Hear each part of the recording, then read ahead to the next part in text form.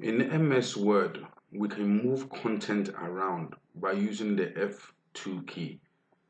Let's see how that is done.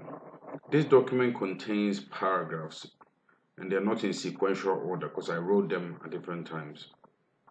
Paragraph 1 is actually uh, below the rest of the content. So if I want to move that up, I can triple click to copy the whole paragraph, to, to select the whole paragraph, then press the F2 key on my keyboard. Then I'll see on the bottom um, on the status bar move to where. All I have to do, the text is still there, but all I have to do is scroll to where I want this text to go. Okay, I want the text to go right here.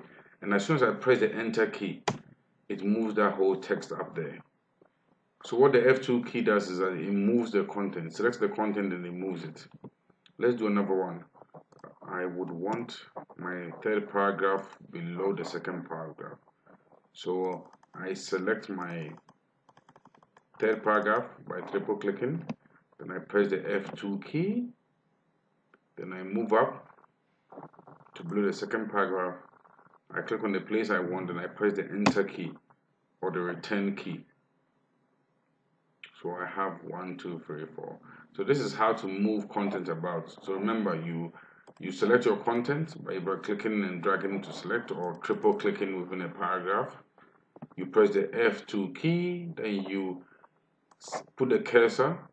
You click on any place in the document where you want the content moved, and then you press the enter key.